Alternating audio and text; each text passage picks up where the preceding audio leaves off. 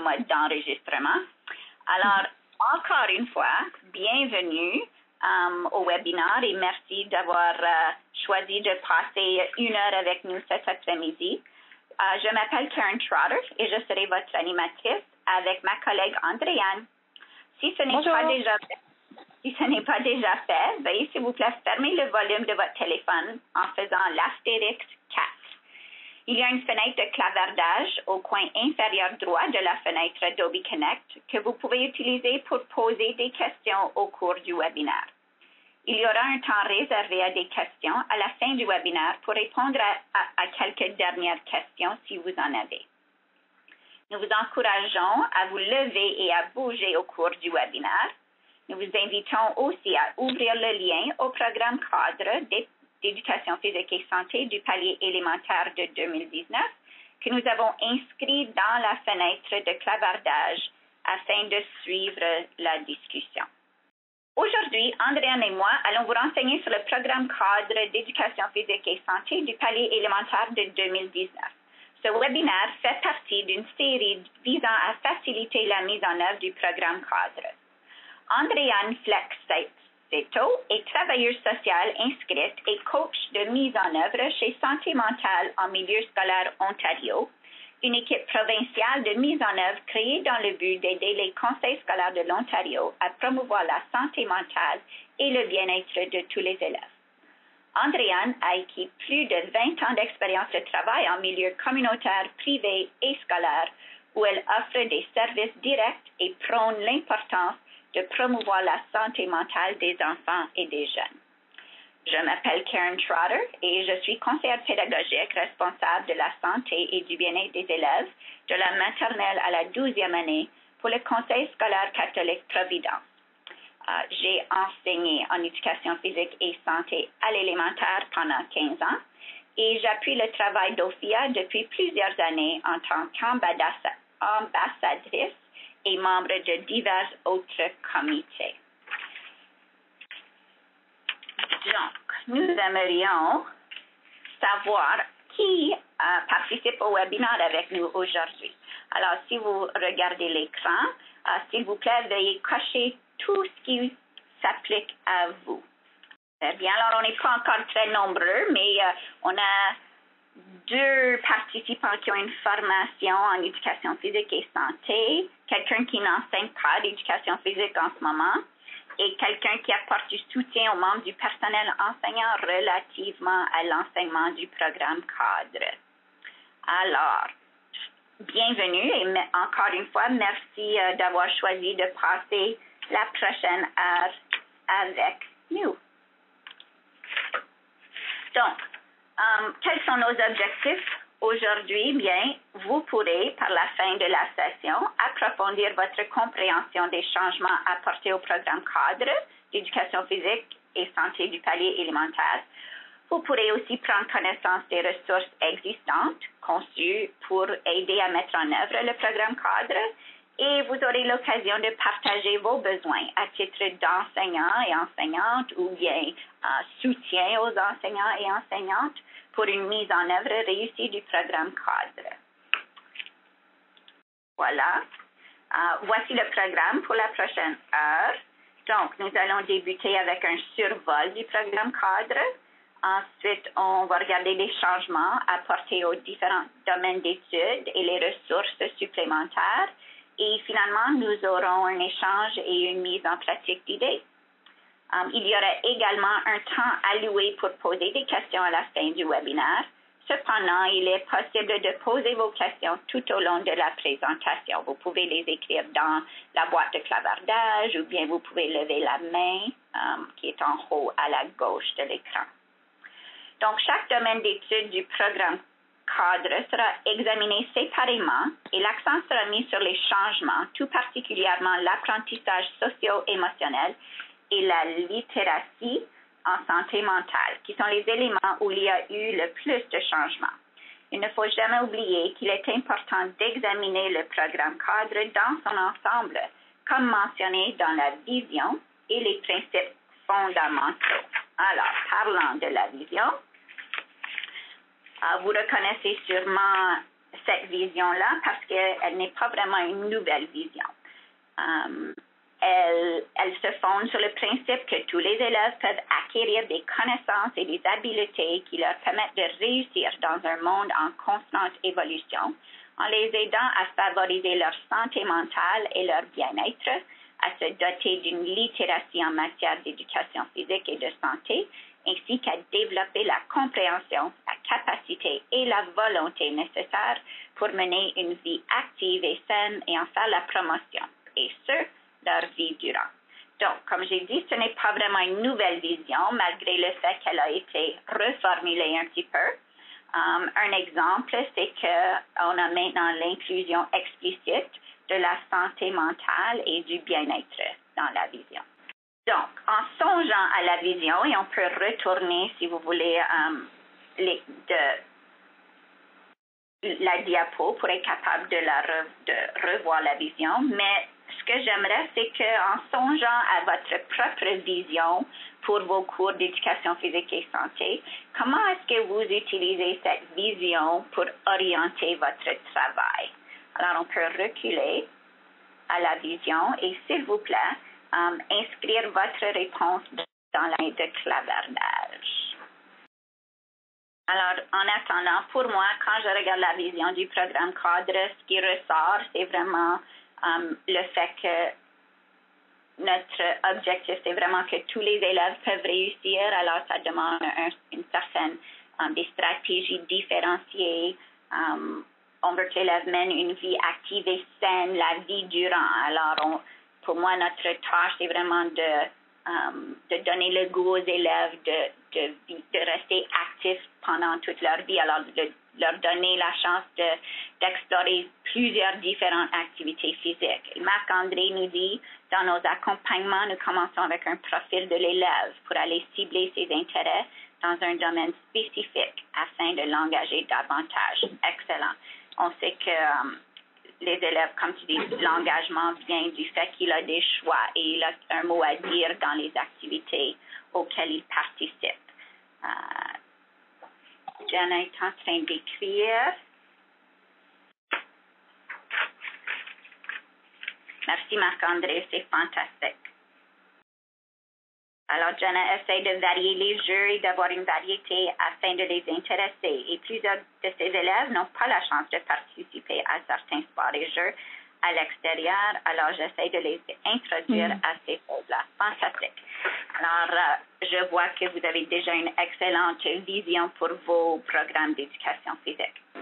Donc, si on regarde les objectifs du programme cadre, dans l'ensemble, les quatre objectifs um, du, du palier élémentaire n'ont pas changé, à l'exception du premier objectif, où des changements ont été apportés pour tenir compte du changement des habitudes de vie à l'apprentissage socio-émotionnel. Alors avant, c'était les habitudes de vie. Là, on parle des apprentissages socio-émotionnels pour, et pour établir un lien plus explicite à la santé mentale. Les trois autres objectifs du programme cadre um, demeurent inchangés dans le programme cadre 2019. Alors, encore une fois, si vous prenez une minute pour revoir les objectifs, um, utiliser la fenêtre de clavardage pour inscrire des mots qui, um, qui vous interpellent. Alors, je vais retourner à la première page. Allez chercher des mots qui vous parlent dans les objectifs. Pour moi, c'est que tout au long de la vie, on les a juste pour, un, pour euh, 10 ans, mais il faut leur donner le goût de rester actifs et de, de oui, la vie durant, participer de façon régulière et sécuritaire, jouir d'une vie active et saine. Excellent. On a déjà parlé de la variété dans, dans les activités. Un état général de santé et de bien-être. Fantastique. Jouir d'une vie active et saine. Excellent. Merci de votre partage. Donc, vous reconnaissez sûrement euh, cette représentation visuelle du programme cadre. Vraiment, le seul changement à cette image est le remplacement des habiletés de vie par l'apprentissage, les apprentissages socio-émotionnels. Et on voit encore une fois, c'est une, euh, c'est l'élève qui est au centre de son apprentissage. On voit le cœur de l'élève qui est fort et euh, en bonne santé. On peut utiliser cette image ici pour orienter nos planifications, l'évaluation et la prestation des programmes cadres pour toutes les années d'études. Alors, cette, cette représentation graphique ou, euh, visuelle est dans les programmes cadres de la, de la première jusqu'à la douzième année. Et il y a toujours quatre domaines d'études dans le programme cadre d'éducation physique et santé de l'Ontario. Des changements ont été apportés aux balises. On parlait des, euh, des parenthèses qui se retrouvent à la fin de chaque contenu dans les domaines pour indiquer les habiletés socio-émotionnelles qui peuvent être utilisées pour favoriser l'apprentissage et l'enseignement de ces contenus. De plus, l'apprentissage socio-émotionnel remplace les habiletés de vie. Donc, nos quatre domaines restent, euh, le premier a changé, apprentissage socio-émotionnel. Le deuxième, le domaine B, c'est la vie active. Domaine C, c'est compétences motrices. Et domaine D, la vie saine, qui comprend maintenant un nouveau sujet de santé, la littératie en santé mentale. L'enseignement du programme cadre d'éducation physique et santé est de haute qualité et vise à fournir à l'élève des occasions de faire les liens entre les concepts et les habiletés des quatre domaines d'études. Le programme cadre de 2019 définit les attentes et les contenus d'apprentissage de chaque année d'études qui décrivent les connaissances et les habiletés dont l'élève doit faire preuve dans son travail de classe, dans ses recherches, ses travaux, ses examens ou toute autre activité qui sert à évaluer son rendement. De plus, il est important de souligner que le gouvernement a émis une NPP qui exige que les conseils scolaires élaborent une politique ou procédure permettant aux parents d'exenter leur enfant de l'enseignement relatif au sujet développement de la personne et santé sexuelle. Euh, à l'heure actuelle, les conseils scolaires de l'Ontario n'ont pas tous en place une politique relative à ce genre d'exemption. Les politiques et procédures des conseils scolaires doivent être mises en œuvre d'ici le 30 novembre. Donc, le programme cadre repose sur cinq principes fondamentaux afin de permettre la mise en œuvre d'un programme bien planifié, inclusif et de grande qualité. Aucun changement important n'a été apporté aux principes fondamentaux en 2019. Um, il demeure tout, toutefois important de comprendre ces principes et de les appliquer. Par exemple, lors de votre planification, posez-vous les questions suivantes. Comment optimisez-vous la participation de tous les élèves? Fournissez-vous des possibilités différenciées pour permettre aux élèves de s'entraîner et améliorer leurs habiletés grâce à l'exploration de leurs capacités physiques et du mouvement? Est-ce que les activités choisies et les sujets de santé présentés sont représentatifs de la diversité des élèves et de leur vécu pour qu'ils leur soient pertinents? Comment établissez-vous des liens entre la classe, l'école et la maison?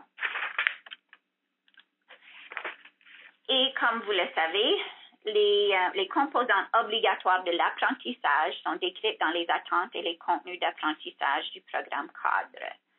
Les attentes et contenus euh, sont divisés en quatre domaines d'études, comme on avait mentionné, apprentissage socio-émotionnel, vie active, compétences motrices et vie saine. L'ensemble de ces attentes et contenus euh, constituent le programme cadre d'études les attentes pardon, décrivent en termes généraux les connaissances et les habiletés que l'élève doit avoir acquis à la fin de chaque année. Ils indiquent les types d'habiletés, de concepts qui sont nécessaires pour une vie saine et active à tous les âges ou stades de développement. Pour cette raison, les attentes sont répétées avec des termes constants de la première à la douzième année. Le programme d'éducation physique et santé vise à développer, renforcer et affiner les connaissances et les habiletés des élèves associées à chacune de ces attentes principaux au fil du temps. Cette approche reflète et satisfait la nature progressive du développement des habiletés en éducation physique et santé. Les contenus d'apprentissage décrivent en détail les connaissances et les habiletés que l'élève doit maîtriser pour satisfaire aux attentes. Euh, ils, se rattachent à une même attente et sont groupés sous une même rubrique qui évoque le sujet de l'attente et sont identifiés par une lettre et deux chiffres. Par exemple, le B2.1 désigne le premier contenu d'apprentissage se rapportant à la deuxième attente du domaine d'étude B. Cette répartition ne signifie aucunement que les attentes et les contenus de chaque domaine d'étude sont à aborder isolément. Les contenus d'apprentissage reflètent une progression qui est à l'image de la maturité croissante de l'élève et à l'évolution de ses besoins dans l'acquisition de ses connaissances et le développement des habiletés. Cette progression est indiquée dans la formulation modifiée de certains contenus, dans la nature des exemples qui sont proposés et aussi dans la teneur des exemples de discussion entre l'enseignant ou l'enseignant et les élèves. La complexité des exigences reflétées dans les exemples proposés et des questions et réponses fournies dans les exemples de discussion, la spécificité des relations la diversité des contextes d'apprentissage et la variété des occasions pour les mettre en œuvre sont autant de manifestations de cette progression d'une année d'études à l'autre.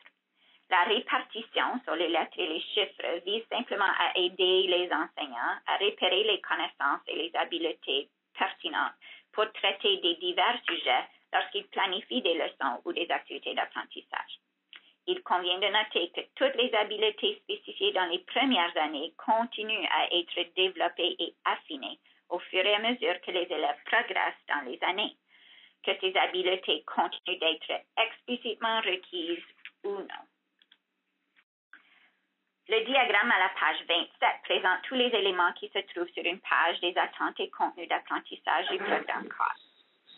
Les exemples proposés dans les contenus qui sont indiqués entre parenthèses illustrent la portée de l'apprentissage et le degré de complexité recherché. Les exemples mentionnés et les exemples de discussion ont été élaborés de façon à être adaptés à l'année d'étude. Les exemples de discussion entre l'enseignant ou l'enseignante et les élèves illustrent le genre de questions qui peuvent être posées sur le sujet à l'étude et les réponses possibles. L'enseignant peut choisir d'utiliser ces deux types d'exemples, de s'en inspirer, de les adapter pour ses élèves ou encore d'élaborer sa propre stratégie en adoptant un niveau de complexité similaire. Dans la mesure du possible, les stratégies utilisées doivent être inclusives et tenir compte de la diversité au sein de la classe et dans la province. La plupart des contenus d'apprentissage renferment des exemples et sont suivis d'exemples de discussion entre l'enseignant et les élèves. Ces deux types d'exemples ont pour objectif, objectif de favoriser la compréhension des contenus d'apprentissage et d'en illustrer l'application pour l'enseignant ou l'enseignante. Ils ne présentent pas de caractère prescriptif et sont fournis à titre indicatif seulement. Il est important de préciser que les réponses attribuées aux élèves dans les exemples de discussion sont destinées à illustrer la nature et la portée des apprentissages attendus des élèves. Elles ne reflètent pas la façon de parler des élèves, ni leur choix de mots ou de tournure syntaxique. Euh, les efforts du ministère visaient à mettre à jour et améliorer le programme cadre existant. Par exemple, la santé mentale a toujours fait partie du programme, mais était intégrée un peu partout. Maintenant, la littératie en santé mentale est un nouveau sujet qui fait partie du domaine d'études BICEN dans le programme cadre DPS du palier élémentaire. Le programme cadre est maintenant conforme avec le nouveau guide alimentaire canadien publié en 2019. Une approche, neutre est utilisée à l'égard du genre et des exemples pertinents sur le plan culturel sont inclus dans le programme cadre. Grâce aux mises à jour apportées au programme cadre, euh, d'éducation physique et santé, les élèves en apprendront davantage sur les sujets suivants, la santé mentale, les commotions cérébrales, les effets du vapotage et la consommation de cannabis, la sécurité en ligne, la saine alimentation et l'image corporelle et les relations saines. Euh, le supplément 2019 au programme de la maternelle et jardin d'enfants a aussi été publié. Il se penche sur la prévention des commotions cérébrales et la sécurité mm. en ligne il peut maintenant euh, être mis en œuvre. Alors, euh, par exemple, autres changements, euh, des changements ont aussi été apportés aux exemples de discussion entre l'enseignement et les élèves. Si on regarde l'exemple à la page 287, c'est écrit, les relations sexuelles comportent aussi des risques, notamment de contracter des infections transmises sexuellement et par le sang ou de devenir parent sans le, le vouloir. Alors, auparavant, on parlait des infections transmises sexuellement, et maintenant, parce qu'on parle de infections transmises sexuellement et par le sang, on, utilise la même terminologie que Santé Canada. Et aussi, on parlait avant de grossesse non désirée qui euh, mettait la responsabilité sur la fille seulement. Et maintenant, en changeant un peu le vocabulaire utilisé, devenir un parent, on reconnaît maintenant que les deux partenaires ont une responsabilité.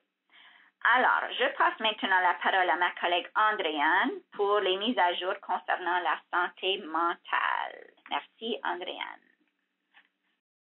Bon, merci beaucoup, Karen. Vous m'entendez bien? Je t'entends bien. Ah, c'est parfait. D'accord. Alors, euh, ben, merci beaucoup pour euh, cette mise en contexte. C'est très important. Euh, de voir euh, l'ensemble des mises à jour qui ont été apportées au programme cadre et puis comment, je pense que vous allez voir comment euh, ceux-ci interagissent les uns avec les autres. Donc, nous, on parle surtout aujourd'hui des mises à jour en termes de l'apprentissage socio-émotionnel et de la santé mentale. Euh, donc, euh, l'apprentissage socio-émotionnel étant faisant appel à l'enseignement, l'apprentissage et l'évaluation des habiletés socio-émotionnelles de façon intégrée aux leçons de l'ensemble du programme cadre. Celles-ci permettent aux élèves de favoriser leur état général de santé et de bien-être, y compris une santé mentale positive, la capacité d'apprendre, d'améliorer la résilience et de s'épanouir. Donc, c'est très important de savoir aussi que l'apprentissage socio-émotionnel vraiment est à la base du, bien-être mental ou de la santé mentale. Alors, il y a de plus en plus de recherches qui, qui nous aident à, à reconnaître ceci, de savoir que euh, pour pouvoir contourner euh, ou pour pouvoir composer avec la santé mentale, il faut avoir des compétences de base, dont les habiletés socio-émotionnelles. Et donc, c'est vraiment très important de voir que ceci a été intégré dans un programme cadre comme celui de l'éducation physique et de santé. Euh, donc, en termes du domaine d'études euh, la vie saine, vous allez voir que ceci aide les élèves à acquérir une littératie aussi en santé mentale, c'est-à-dire de connaître et comprendre ce en quoi consiste la santé mentale. Donc, on veut bien sûr faire la différence entre la santé mentale et la maladie mentale, à ne pas être euh, sachant que ce sont des concepts quand, même interliés. Euh, nous, on parle surtout de la santé mentale euh, positive. Euh, et il y a aussi euh, des leçons par rapport à la stigmatisation qui accompagne la, santé mentale. La stigmatisation étant un élément euh, bien complexe, mais aussi qui limite les jeunes et, et les adultes aussi d'aller chercher de l'aide. Et donc, c'est très important d'avoir des connaissances par rapport à ça. Et bien sûr, comment obtenir de l'aide pour les élèves pour eux-mêmes et pour leurs amis, par exemple. Donc, tout ça, ce sont des concepts importants qui sont intégrés. Euh, des apprentissages concernant la santé mentale demeurent intégrés à l'ensemble du programme cadre.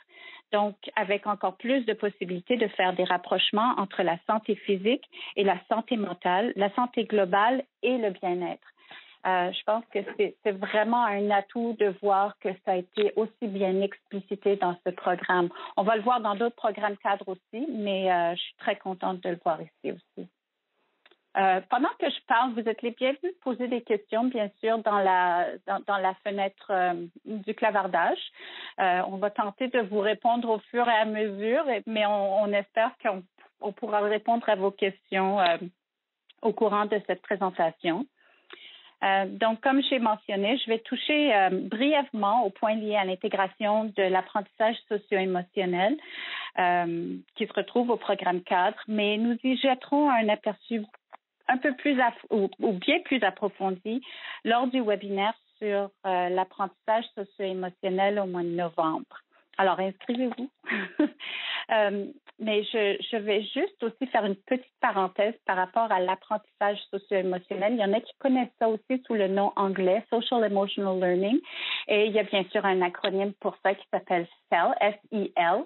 En français, on a aussi voulu trouver un, apprentissage, euh, un, acronyme, donc on appelle ça l'AC, A-S-E, pour apprentissage socio-émotionnel, bien sûr.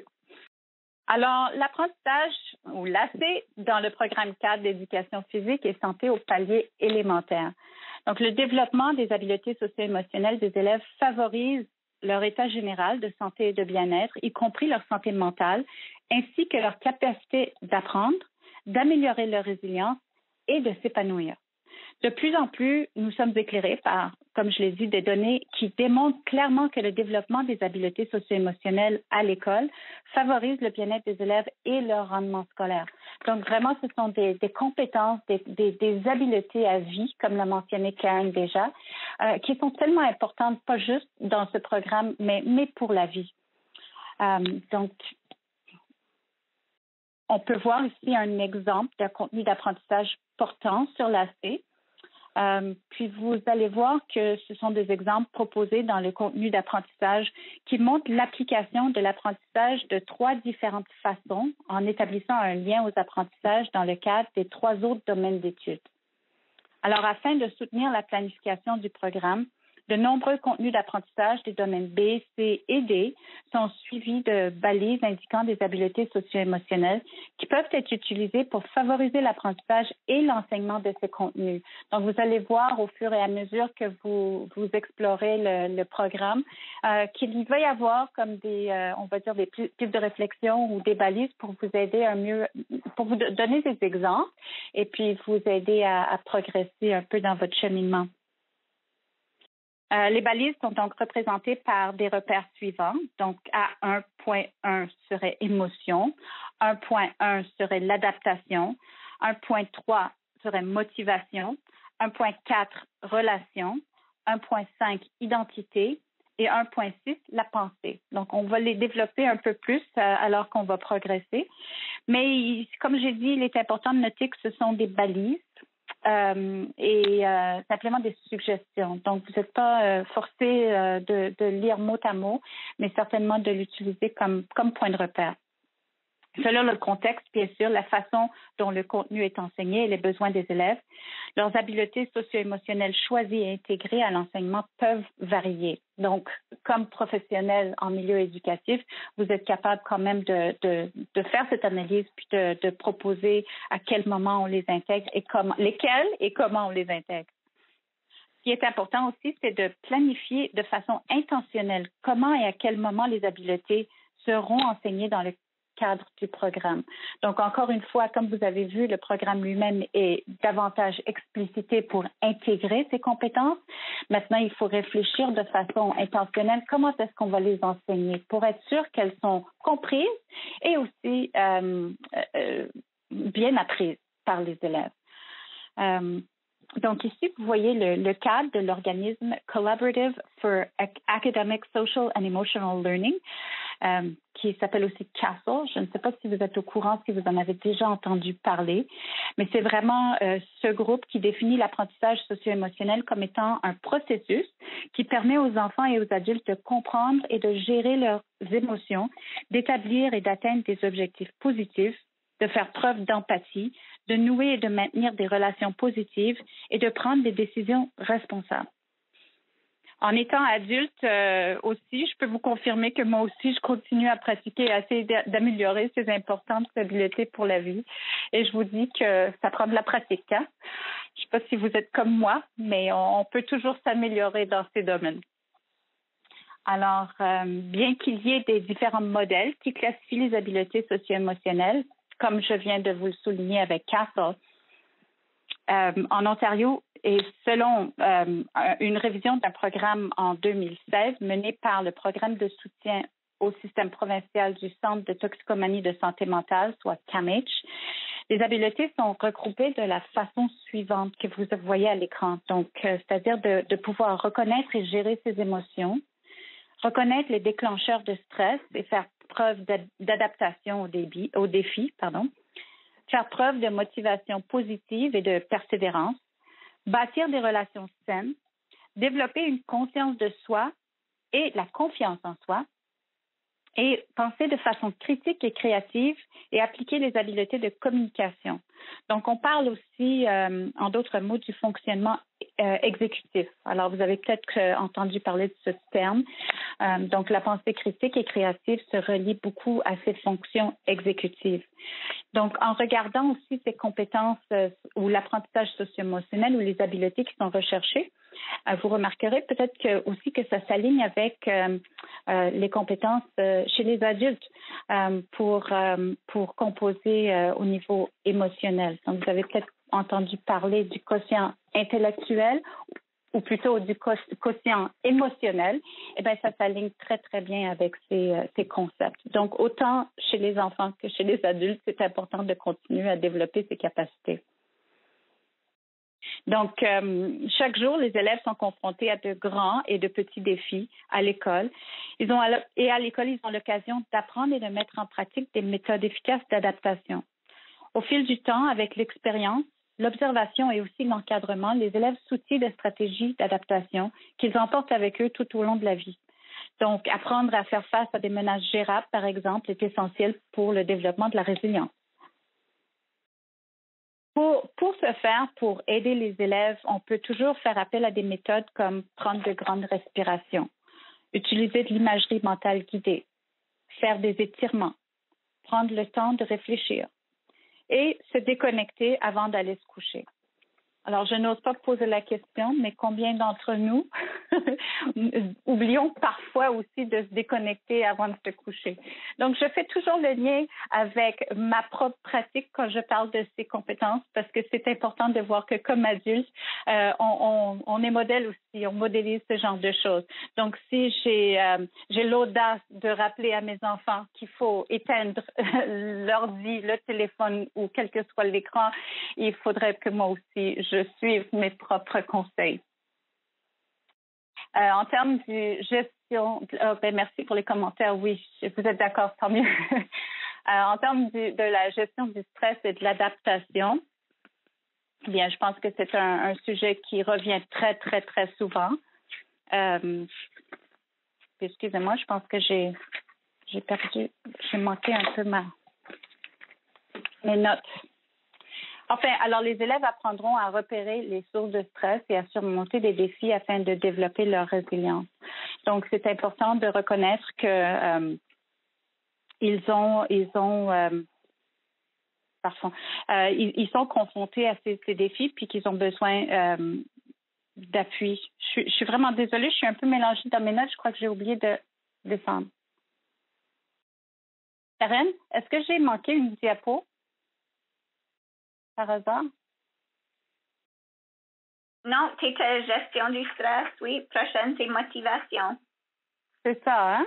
OK. Oui. Excusez-moi tout le monde. il est il est 4h30. J'essaye de m'organiser. OK. D'accord. Alors, c'est ça. Il y avait, il y avait plusieurs stratégies qu'on peut mettre en place, dont j'ai déjà mentionné.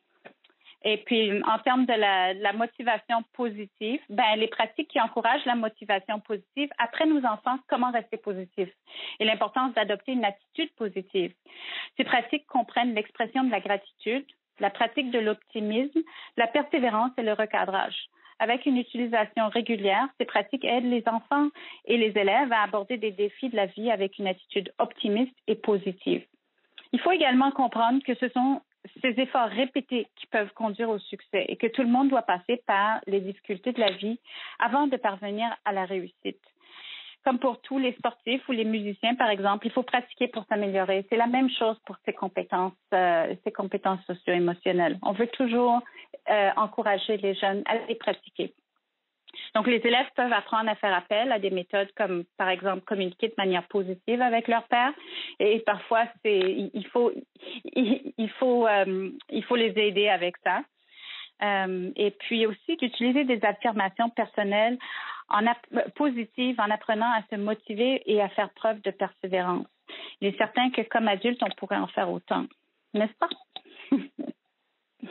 Donc, en termes des relations saines, je me retrouve dans mes diapos.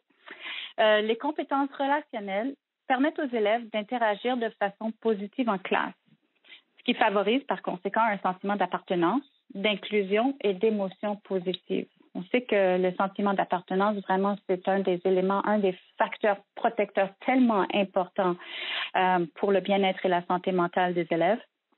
Et donc, euh, pouvoir, pouvoir avoir des relations saines vraiment contribue à ce sentiment d'appartenance. On voit que c'est interlié. Et parmi ces habiletés, on compte les actes de gentillesse, l'amitié, le respect, la résolution des conflits, l'empathie et l'écoute. C'est vraiment dans l'interaction positive et significative avec les autres et en respectant les diverses opinions et formes d'expression que les élèves ont un plus grand sentiment d'appartenance à l'école et à leur communauté. Donc, des stratégies euh, comme, comme trouver des occasions d'aider les autres et en anglais, on, on, on, parle de pay it forward, par exemple, peuvent faciliter l'acquisition des habiletés pour cultiver des relations saines. Donc, en termes de la conscience de soi et le sentiment d'identité personnelle, c'est vraiment important pour les élèves de se connaître, se sentir utile, donner un sens à leur vie ou à sa vie et rester fidèle à soi-même face aux défis et aux choix de la vie sont vraiment des habiletés pour la vie durant qui commencent à se développer dès la petite enfance. Donc, le développement de la confiance en soi peut aider les élèves à valoriser leur unicité et à être à l'aise à exprimer leurs opinions. Les enseignants, vraiment, vous avez un rôle extraordinaire pour démontrer aux élèves qu'ils comptent et qu'ils amènent vraiment de la valeur à la classe. Je sais pour mes enfants qui sont à l'école, ils ont toujours eu euh, ce, sentiment euh, d'être valorisés au sein de leur salle de classe. Et puis, euh, je trouve que c'est vraiment un, un, travail formidable que les enseignants font pour, pour, pour faire ceci. En termes de la pensée critique et créative, eh bien, les, enfants, les élèves apprendront à exercer une pensée critique et créative afin de pouvoir prendre des décisions éclairées et résoudre des problèmes. Donc, cette pensée, c'est vraiment pour permettre de porter des jugements et de prendre des décisions de façon lucide. Donc, réfléchir, ayant, ayant parlé à d'autres, à des adultes peut-être, euh, mais aussi grâce à une compréhension claire des idées, des situations et de leurs retombées possibles dans divers contextes. Donc, d'avoir cette capacité de, prévoir, est-ce que si je fais ceci, euh, je vais avoir la réaction que je recherche? Est-ce que si je fais autrement, la réaction sera différente? Donc, ça, c'est très intéressant de voir comment les élèves sont capables de, euh, de, de composer avec cette pensée critique et créative. Donc, les élèves apprennent aussi avec, avec cette habileté de, de mettre en question, d'interpréter, de prévoir, d'analyser, de synthétiser et de reconnaître les préjugés, les préjugés pardon, et à évaluer diverses op opinions ou options qui leur sont présentées. Donc, de faire la part des choses. Ils sont capables de réfléchir de façon réfléchie. Euh, donc, les habiletés en manière de fonctionnement exécutif, c'est-à-dire des habiletés et les processus qui permettent de faire preuve d'initiative, de se concentrer, de planifier, d'acquérir et de transmettre des connaissances et d'établir des priorités, font partie de la pensée critique et créative aussi. Donc, les élèves qui ont un bon fonctionnement exécutif réussissent bien dans la gestion de temps, dans l'identification d'objectifs, dans la réalisation de projets et la prise de décision. En apprenant à penser de façon critique et créative, les élèves pourront faire des choix plus simples dans les aspects de leur vie. Alors, en, en écoutant ceci, vous pouvez peut-être vous imaginer euh, des élèves avec qui vous travaillez euh, qui ont déjà cette capacité et d'autres qui sont encore en, évolution ou en développement.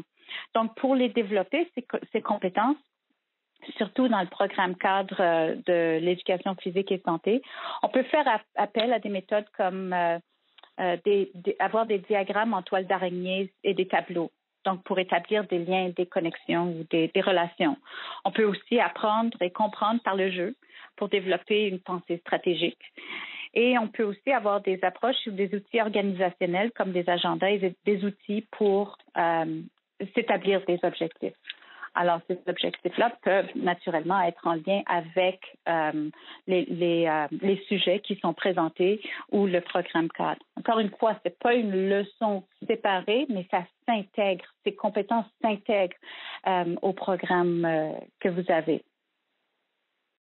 Donc, en termes des balises qui indiquent les habiletés socio-émotionnelles, vous remarquez que les leçons d'apprentissage sont suivies de balises qui indiquent que les habiletés socio-émotionnelles peuvent être exploitées pour favoriser l'apprentissage et l'enseignement de ces contenus.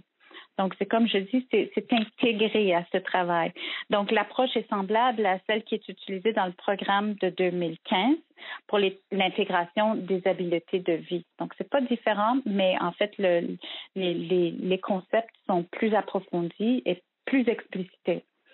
Donc, vous remarquez aussi que plusieurs aspects du domaine A sont les mêmes à ce qui existait auparavant avec les habiletés de vie, y compris les habiletés individuelles, les exemples et les pistes de réflexion. En fait, vous trouverez que plusieurs des habiletés principales demeurent les mêmes et le cadre dans lequel ces habiletés sont présentées a été mis à jour pour qu'il repose sur des données probantes de la recherche actuelle. Donc, euh, pour, euh, pour continuer, je vais passer maintenant la parole à Karen. Merci, Andréane. Alors, on continue euh, là avec le domaine B qui est vie active. Nous allons explorer les principaux changements dans ce domaine. Et puis, le domaine d'études vie active vise à aider l'élève à acquérir les connaissances et à développer, ce que j'ai oublié de changer le diapo, les habiletés nécessaires pour faire de l'activité physique régulièrement en toute sécurité et à y prendre goût tout en apprenant à développer et à améliorer sa condition physique. Les trois rubriques de ce domaine correspondent aux trois attentes sont qui sont la participation active, la condition physique et la sécurité. Les habiletés socio-émotionnelles sont intégrées là où elles sont appropriées. L'activité physique quotidienne constitue toujours l'un des volets clés de ce domaine. La participation à une activité physique quotidienne d'intensité modérée à vigoureuse crée chez l'élève une habitude ancrée dans sa routine et son mode de vie. Dans ce domaine d'études, les élèves apprennent comment introduire plus d'activités physiques dans leur vie quotidienne. Ils apprennent à adapter un comportement qui favorise leur sécurité et celle des autres, tout en acquérant des connaissances au sujet des commotions cérébrales. Et voici un exemple de première année um, où on, discute des commotions cérébrales et vous savez qu'il existe plusieurs ressources qui um, qui vous appuie dans la prévention, l'identification et la gestion des commotions cérébrales. Par exemple, vous avez les normes de sécurité de l'Ontario pour l'activité physique en éducation. Euh, on les, connaissait auparavant comme les lignes directrices de sécurité qui nous proposent des exemples de protocoles et de codes de conduite. Euh, sur le même site web, on a la trousse pour la journée de la loi Rowan. Et oui, la journée de la loi Rowan est au le 25 septembre à chaque année, mais il y a d'excellentes ressources qu'on pourrait utiliser l'année longue. il y a aussi la nouvelle ou la, la révision de la NPP 158 avec les mises à jour et les protocoles révisés euh, en cas de commotion cérébrale. Et encore une fois, vous voyez à la fin du contenu entre les balises, on fait des liens à des relations saines. Alors, l'élève qui joue en sécurité, euh, il respecte l'espace personnel des autres, il demande de l'empathie pour un ami qui s'est blessé. Et puis, le domaine C, encore les compétences motrices. Et vous reconnaissez, j'espère, ou, probablement, um, ce tableau qui était aussi dans le programme cadre de 2015. Il n'y a vraiment pas eu de changement. Um, dans ce domaine, les élèves sont amenés à développer des habiletés motrices et des concepts du mouvement, ainsi que des habiletés tactiques afin d'améliorer leurs compétences motrices. Et euh, les dans ce domaine, les habiletés socio-émotionnelles, ils sont intégrées lorsqu'elles sont appropriées. Alors, enseigner de, de manière explicite ces habiletés socio-émotionnelles avec les habiletés motrices peuvent favoriser la réussite de l'élève. Quelques exemples. Alors, euh, l'élève pourrait développer son sentiment d'identité personnelle en tant que personne capable et compétente sur le plan physique à mesure qu'il ou elle perfectionne ses mouvements. Il peut apprendre à connaître l'effet qu'ont ses émotions sur sa façon d'agir dans le cadre de jeu. Alors, apprendre qu'être en colère ou éprouver de la contrariété peut l'éloigner de son objectif. Alors, on peut faire plusieurs liens euh, entre le domaine ou les attentes et contenus dans le domaine de compétences motrices et les habiletés socio-émotionnelles. Le domaine CED, par contre, euh, le domaine de la vie saine, pardon, c'est vraiment ce domaine qui a connu la majorité des changements dans le programme cadre de 2019. Dans le domaine d'études saines, les changements comprennent du contenu nouveau et bonifié sur divers sujets, dont l'intimidation, le nouveau guide alimentaire, le cannabis, les commotions cérébrales, le consentement, l'image corporelle, les relations saines, la sécurité en ligne, la pornographie, les infections transmises sexuellement et par le sang, euh, le vapotage. Alors, prenez juste une seconde pour passer à travers cette liste-là. Et dans la boîte de clavardage, pouvez-vous, s'il vous plaît, juste nous dire, euh, on va dire en utilisant une échelle de 1 à 5, quel est votre niveau de confort par rapport à ces domaines ou à ces sujets-là? Alors, 1 et 5 étant, je suis extrêmement confortable avec ces sujets-là et 1 étant pas très confortable. Alors, prenez juste une minute. Juste dans la boîte de clavardage, indiquez un 1, un 5, un. Parfait. Marc-André, c'est un 3. Un d'autres 3. OK. Alors, on est assez confortable, mais on a certainement, et à force de, de voir ou de discuter de ces sujets-là avec nos collègues et euh, avec les ressources qui vont venir nous appuyer, je suis certaine que par la fin de l'année, on va tous être rendus à des 5. Merci beaucoup. Mm-hmm.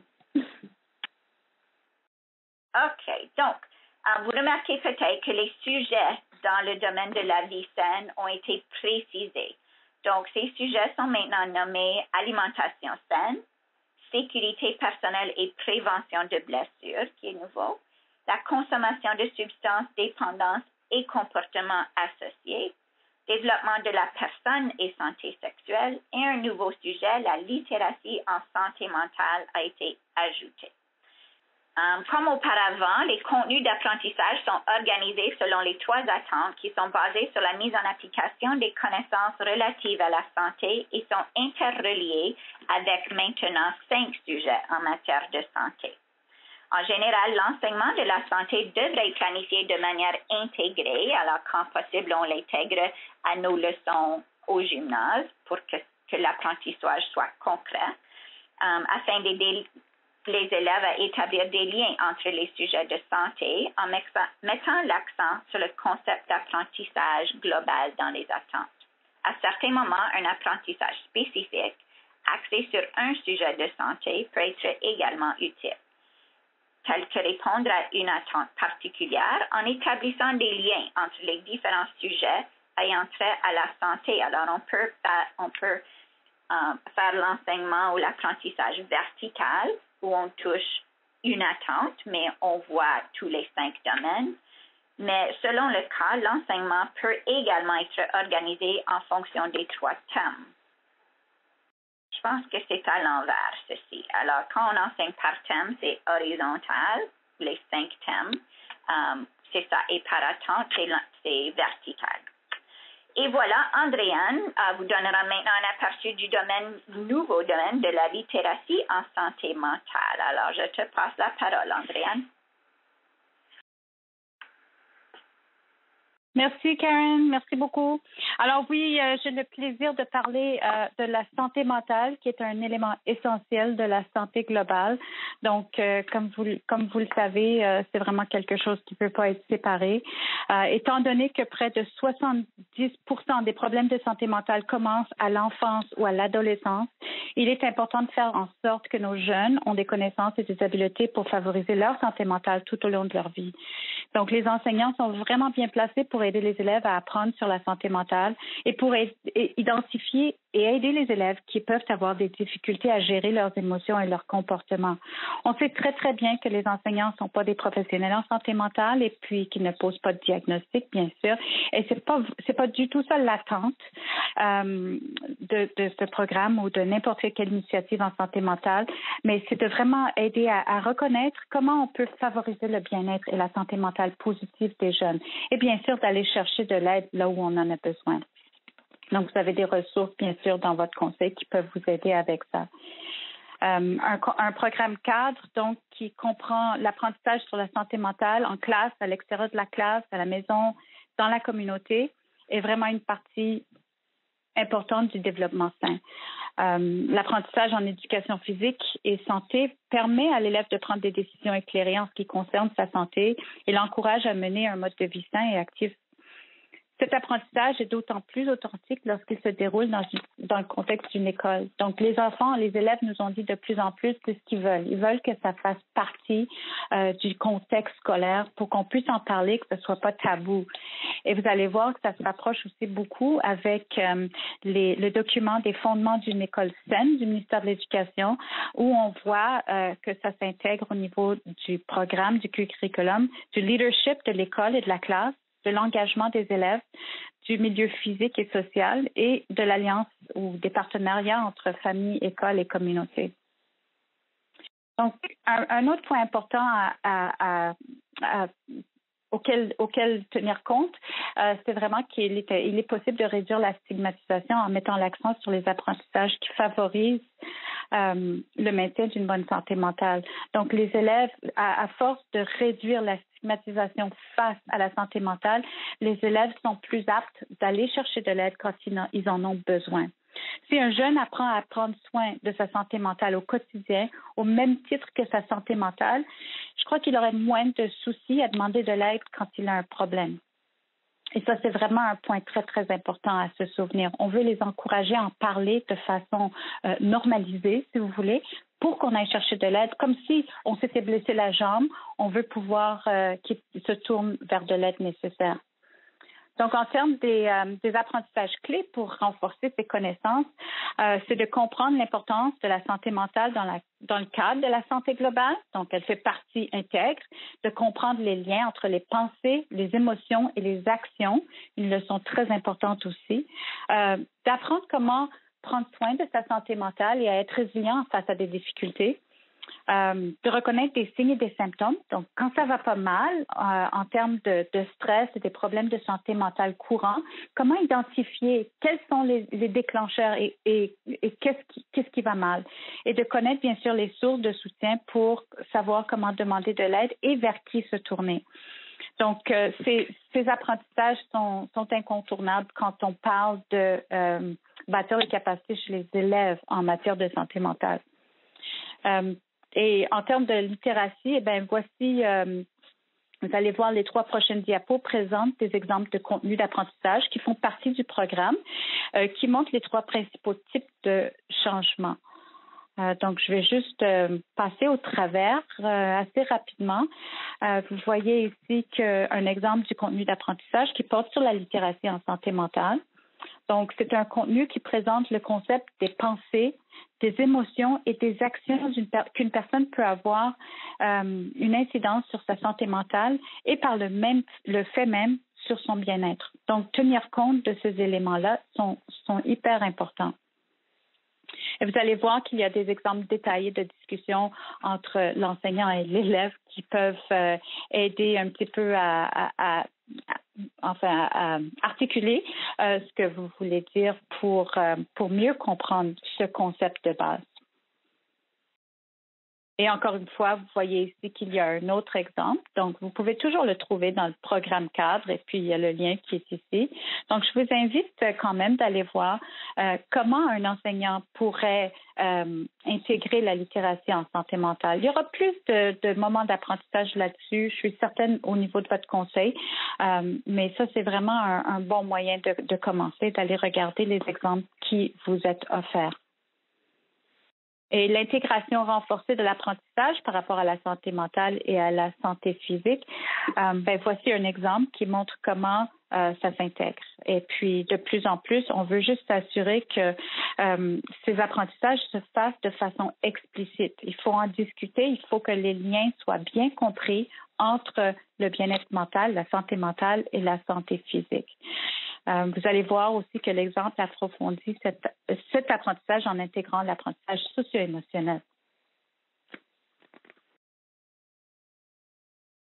Et je crois que je vais passer maintenant la parole à Karen Euh, donc, c'était un survol assez rapide. Et puis, euh, je crois qu'il y a une question par rapport à l'accès à la présentation. Donc, on, on, va pouvoir vous répondre bientôt. Je pense qu'on peut répondre tout de suite. Lisa, la réponse est oui. Vous allez recevoir la présentation dans vos courriels dans les prochains jours. Alors, je continue. Merci, Andréane. Ici, c'est vraiment juste des considérations pour la planification. on sait que les enseignants, tout de suite, on reçoit le nouveau programme cadre et on va tout de suite voir les attentes et les contenus. Mais c'est d'aller voir les autres um, ressources qui sont dans le nouveau programme CODE, on a les survols des cycles. Alors, il y a eu des changements dans les survols de cycles d'enseignement. Um, la grille d'évaluation, elle a été juste modifiée pour refléter les apprentissages socio-émotionnels. Il y a encore le glossaire qui nous aide avec la terminologie et les définitions. Um, on a des annexes, alors le sommaire des apprentissages socio-émotionnels, le sommaire des apprentissages dans chaque domaine. Um, alors, ce sont vraiment des outils uh, qui peuvent nous appuyer lorsqu'on planifie notre programme. Alors, ce qu'on va faire ici, um, à l'aide d'Adobe Connect, trois fenêtres de clavardage seront et, vont, et se déplaceront. On les voit maintenant à l'écran. J'aimerais que vous choisissez un ou plusieurs, si, vous voulez, lire la question et répondre. Si on n'a pas le temps, parce que je vois qu'on manque de temps déjà, um, posez vos questions. Si on n'a pas le temps de, de, vous donner des réponses tout de suite, certainement il y aura un, billet de blog qui sera partagé après la ou plus tard, probablement dans la prochaine semaine ou deux, um, qui touche le contenu de ce webinaire ici. Alors, je vous invite à aller répondre aux questions dans les trois colonnes. Alors, quelles sont les choses sur lesquelles vous souhaitez en apprendre davantage? Quel autre soutien vous sera utile et qu'avez-vous fait jusqu'à présent relativement à la mise en œuvre du programme cadre? Et tandis que vous faites ça, je vais juste rapidement vous partager d'autres ressources. Alors, on sait que OFIA travaille très fort à développer des ressources pour appuyer les enseignants. Um, ils sont en train de, um, refaire les plans de leçons. Le 7 octobre, il y a un tableau de contenu qui a été ajouté à la page de chaque année d'études pour aider les enseignants à trouver le matériel qu'ils ont besoin pour satisfaire aux attentes associées au contenu. Um, vous allez voir au cours de l'année scolaire, il va y avoir encore d'autres plans de leçons ajoutés au site web. Vous allez les remarquer qu'ils sont nouveaux parce qu'ils seront encadrés de la couleur verte pour être capable de les trouver facilement. Ah, les plans de leçon d'alimentation ont été révisés. Ils sont maintenant um, conformes au nouveau guide alimentaire. Et puis, uh, vous avez aussi le site web du ministère où vous allez retrouver le programme cadre. Il y a aussi des, um, des ressources destinées aux parents, mais si vous voulez vraiment un bon survol, de, des apprentissages de chaque année, allez voir cette ressource-là. Il y a aussi le site de santé mentale en milieu scolaire Ontario. OFIA a, des séries de webinaires sur le site web. Um, et aussi OASFI, qui est Ontario Association for the Support of Physical and Health Educators, qui offre aussi plusieurs ressources. Alors, je, je vois les questions que vous avez posées. Alors, excellent ça va, um, ça, va guider OFIA dans des, des, webinaires à venir ou l'information partagée dans les webinaires et possiblement des ressources à venir. Um, si vous avez d'autres questions, uh, n'hésitez pas. Je vois que Simo écrit encore. En tout cas, merci beaucoup pour ces questions-là. Comme j'ai dit, ça aide vraiment à, à nous guider dans les prochaines étapes. Des très belles réflexions. Merci. Oui, absolument. Mm-hmm. Alors, on pourrait peut-être retourner au, au diapo, à la diapo. Merci. Parfait. Donc, voilà la liste de ressources dont j'ai mentionné. Et puis, est-ce que vous avez d'autres questions que vous n'avez pas eu la chance de poser pendant euh, le webinaire ou peut-être que il n'allait pas dans une des trois colonnes? Alors, je vois que Jenna est en train d'écrire. Est-ce que je peux, je peux dire quelque chose par rapport euh, à la littératie en santé mentale? Euh, donc, je sais que je pense que c'était euh, Marc-André qui avait posé la question. L'équipe de santé mentale en milieu scolaire est en train de développer aussi un module d'apprentissage sur la littératie en santé mentale. il n'est pas encore prêt ni accessible, mais il le sera. Puis dès qu'il le sera, on pourra vous l'envoyer par l'intermédiaire de votre leader en santé mentale. Alors, je ne vois pas trop de questions, donc j'aimerais prendre cette occasion de vous dire un gros merci à vous tous. Um, d'avoir passé un peu plus qu'une heure avec nous. Merci. Um, euh, si vous pouvez, s'il vous plaît, euh, prenez quelques minutes pour nous faire part de vos commentaires au sujet du webinaire aujourd'hui. Alors, il y a un lien SurveyMonkey à l'écran.